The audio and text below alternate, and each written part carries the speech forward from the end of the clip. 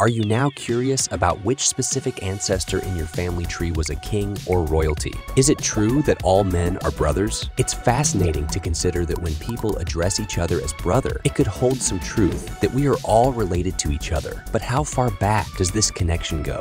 When did the first human, the biological Adam and Eve, appear on Earth? And why did they never meet? When did this monkey finally become human? What would the common ancestor of all living organisms look like? And how did it come into existence?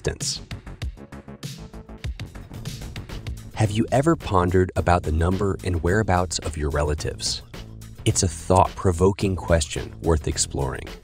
Do you recall that highly popular game? In it, you had to connect the squares to double the numbers. You can also imagine your family tree. The first generation of your ancestors consists of only two people, your father and mother.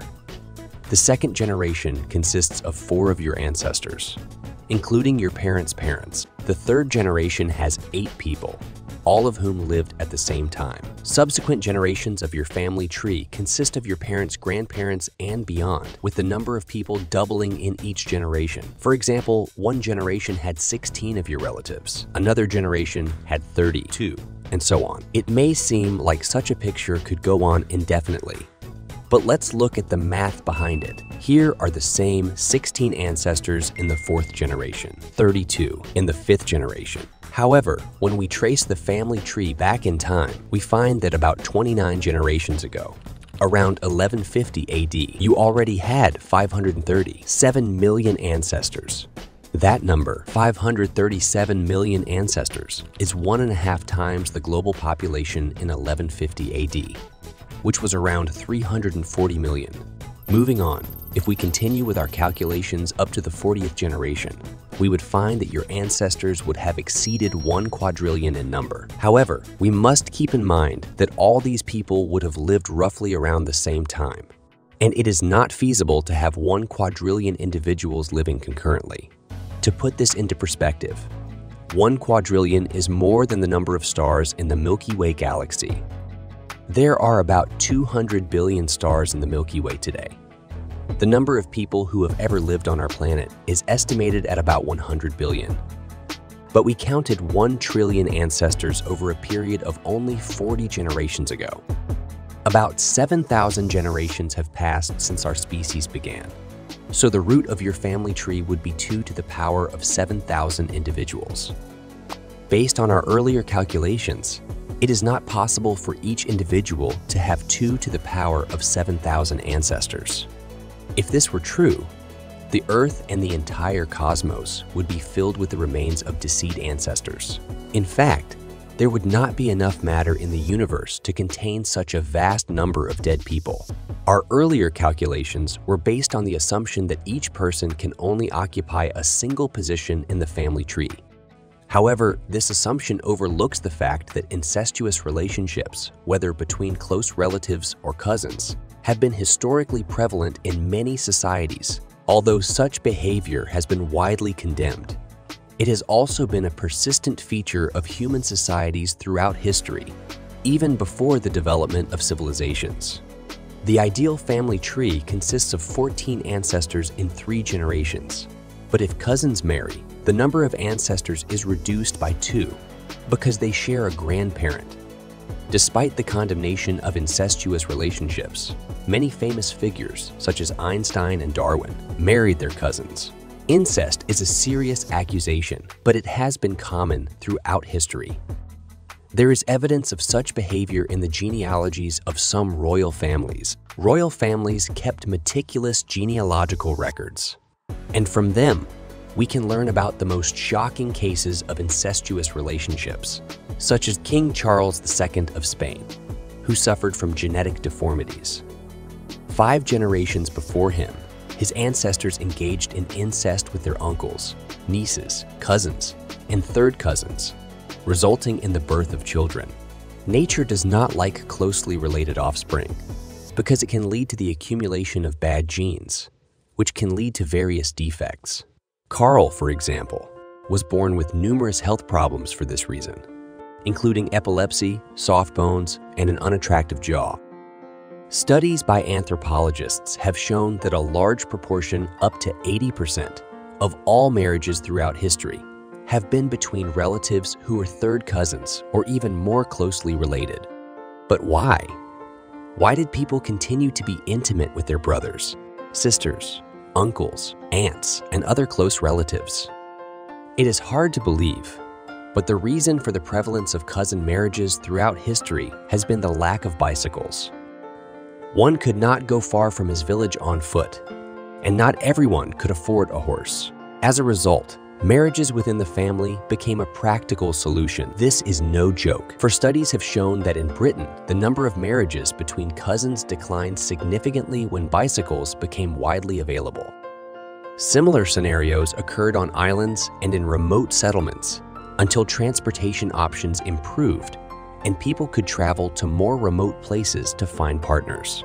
Unfortunately, because of the limited availability of genealogical records, we may never know our entire family history beyond our great-grandparents. The more we delve into our family tree, the more ancestors we discover, making it increasingly difficult to research their lives, appearances, and even names. As we trace our family history farther back in time, the number of ancestors in our family tree increases, leading to a greater likelihood of a match with the family tree of someone you know. It is quite possible that at some point in the past, your family trees have crossed and you have common ancestors. Visualizing this concept is like seeing a dense forest with trees branching out in all directions. As one moves up the family tree, the number of branches increases, increasing the likelihood of intersection with neighboring trees. Computer models representing the origins of two random people can be very complex and difficult to understand because of the many connections and relationships between ancestors. Consider two individuals living in a region with a population of 100,000 people. If we trace their family trees back nine generations, we may find five common ancestors between them. However, after an additional five generations, the number of common ancestors increases to over 3,000. In real populations, not just computer models, research has shown that the family trees of all Europeans are connected through a dense web of relationships dating back to around 1000 AD. This means that the majority of Europeans share common ancestors from this time period, highlighting the interconnectedness of our global family history. For about 30, 32 generations in the past, there have been groups of people who are the common ancestors of all modern Europeans with healthy offspring. This implies that anyone of European descent, including Russians, Germans, French, Americans, are those descendants of settlers after colonization, is related by blood to all the royal European dynasties that existed before 1000 AD, such as the Habsburgs, Rurikovich, and Carolingians. Asians don't get upset. According to the same mathematical model, you will also have a Chinese emperor and a Persian ruler. But this is only Europe and Asia. What if we go further and look for a progenitor who unites the whole world? It is likely that such a person exists. According to the math, every person has a common grandfather who lived about 3,500 years ago. Allow me to refresh your memory that our understanding of this topic is based on a mathematical model. However, it should be noted that this model does not incorporate tribes such as the Amazonian Aborigines, who are much more distantly related to the rest of the world's population. Our discussion pertains to finding a common ancestor for individuals who have had contact with other civilizations. Consequently, each of us can be regarded as at least a cousin or a sibling to one another. It follows that whoever you have a familial connection with, that bond is in a sense an example of incest. Yes, in a sense, we share genes from that common ancestor, but the situation is complicated. To illustrate, imagine a DNA strand as a square, representing all the genes in an individual's DNA. Half of these genes come from the mother and half from the father. Each successive generation receives fewer genes from their ancestors, with only a quarter of genes coming from the grandparent, one eight from the great-grandparent, and so on, decreasing with each generation. After 35 generations, an individual will have an ancestor from whom they have not inherited a single DNA letter. You may be a descendant of a Mongol Khan or an African shaman, But there are not enough genes from these ancestors in the nuclei of your cells to prove your kinship. And there is one way to find our father and mother, our Adam and Eve. Yes, they were black, but instead of studying genes, which are often shuffled around like a deck of cards, there is a more reliable solution. The answer is the mitochondria. These tiny organelles were once individual bacteria, living their own lives more than 2 billion years ago, long before dinosaurs and other complex organisms appeared. They came to an agreement that the mitochondria would provide energy and the new host would provide protection from a dangerous environment. As a result, they gained a foothold in our predecessors, bringing with them a special type of genetic material, circular DNA. Today, mitochondria exist in almost all forms of life, serving as evidence of our common ancestry. Furthermore, this circular DNA is inherited exclusively through the maternal line, are there genes that are exclusively passed on from fathers to their offspring? Yes. This particular package of DNA is known as Y chromosome, which carries the most important gene responsible for the development of the male body. Only fathers can pass this chromosome to their sons, because women do not possess it. The Y chromosome is solely inherited from the father, while the circular mitochondrial DNA is exclusively transmitted from the mother. These unique types of DNA do not mix with genes from the other parent and remain relatively unchanged, accumulating only occasional random mutations every few thousand years. This distinctive characteristic of slow change over long periods of time allows us to track our ancestry and learn about the movements of early human populations on Earth. By examining the genetic makeup of different African tribes, researchers observed that a southern tribe had five specific mutations, while a northern tribe had those same mutations, along with an additional one. This led them to conclude that the northern tribe likely originated from the southern tribe, with some members moving closer to the equator. Through the study of DNA samples from diverse populations across all continents, scientists have constructed mutation pathways for all of humanity enabling them to track the historical migration routes of early human populations around the world. Much like a navigator, the study of genetic mutations has enabled researchers to construct a vast map detailing the migration patterns of early human populations. Moreover, genetic evidence has provided an answer to how ancient humans first reached the Americas by crossing the Bering Strait on foot during the Ice Age. When we trace the Y chromosome and circular DNA pathways separately, we find that they both lead us to the same man and woman, who are the common ancestors of all humans. These genes lead us to a father and mother, Adam and Eve, common to all humans, but not in the biblical sense, but based on genetic data. These real people lived between 150,000 and 200,000 years ago and never met each other. Unlike the biblical Adam and Eve, who are believed to have lived at the same time, these genetic ancestors of mankind are separated by thousands of years. Adam and Eve were not the only people of their time. However, the chains of descendants from other people were broken for various reasons. For instance, some lineages were interrupted by illnesses, while others were childless. In contrast, the lines of offspring from Adam and Eve have continued uninterrupted to the present day. Nevertheless, little is known about these genetic ancestors beyond their existence as a common link among all humans. Their physical features, activities, and manner of death are unknown, and it is even possible that we would not be able to recognize their remains if we were to discover them. We do know that they each had children, which means they were real individuals who left behind a genetic legacy that is now present in every human being on the planet. Presently, all humans, including Eskimos and Australian Aborigines, belong to the same biological species, Homo sapiens. There's a question about where the distinction between ape and man lies. To answer this question, we can consider three distinguishing characteristics known as the hominid triad these characteristics include uprightness, a hand capable of making tools, and a highly developed brain. To identify the first primate to possess the hominid triad, we need to study the human evolutionary tree. This tree includes the different kinds of primates, whose remains have been discovered over time. This differs from the simplified diagrams usually shown in biology classes.